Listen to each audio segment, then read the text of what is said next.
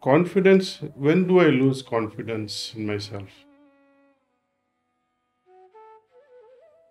When do I stop loving myself?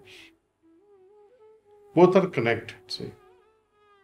When I fail again and again, you start hating, oh, how can I do such a thing? So, the failures, after failures, you start blaming yourself that, oh, I failed and I failed and I failed, and you start disliking your thoughts, disliking your actions.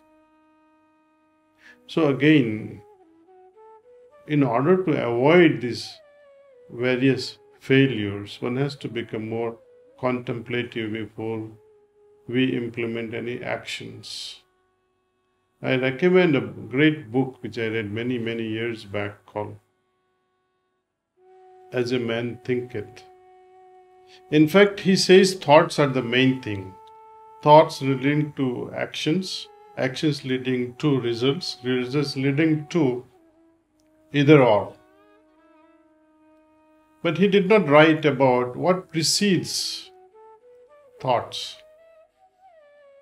Vrittis, we call in Hindi, or attitude or tendencies.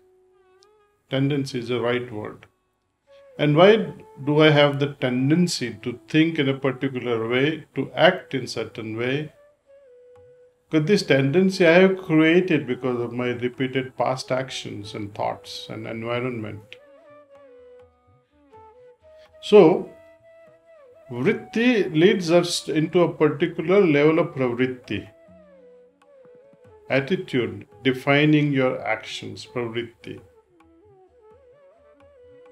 Pravritti will lead you to another thing that makes your nature, what we call prakriti. You repeat things again and again, that becomes your second nature.